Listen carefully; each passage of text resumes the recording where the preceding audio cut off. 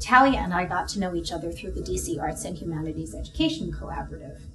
And um, I went and observed her doing professional development and realized that we were both approaching the Civil War in very different ways in terms of working with teachers, and that they were really complementary. We met during one of our professional development workshops, um, met with Sarah, and we realized that we could do a lot more for teachers if we partnered together. Because previously we had just been doing kind of a one shot come visit us for two hours and learn about the Civil War, and that was it.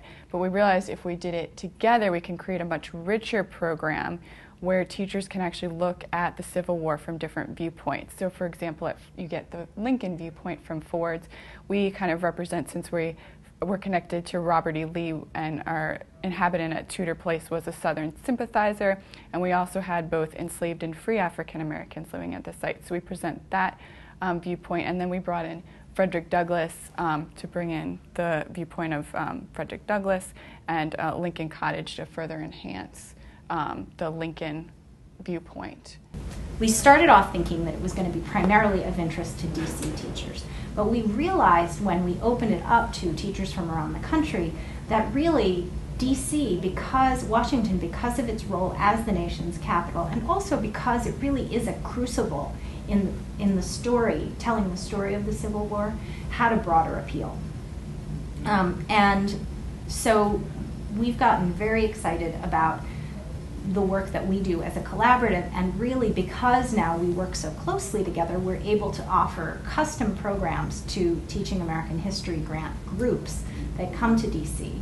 Um, we're able to work with them to create a program that, that fits them and their needs, and it's not a one shot. It's it's multiple. It's layered. It offers multiple perspectives on the Civil War. It offers multiple perspectives on great men and not so many women, but some women during the Civil War. Ford's Theater is clearly the big fish in many ways because people tend to go there, but they don't tend to get deep in their experience. And that's what we're hoping to get out of this. For Ford's Theater, what is useful about this partnership is helping to deepen the experience at the theater so that it's not walk in, click your camera over at the box, and walk out. And I think, too, we've tried to structure the program so it's not just that we, the program we currently offer is a one week program where you come and you go to each site, um, one site a day. But we've tried to structure in a way too to build a learning community where we can interact with teachers throughout the year, help them as they're planning their lessons.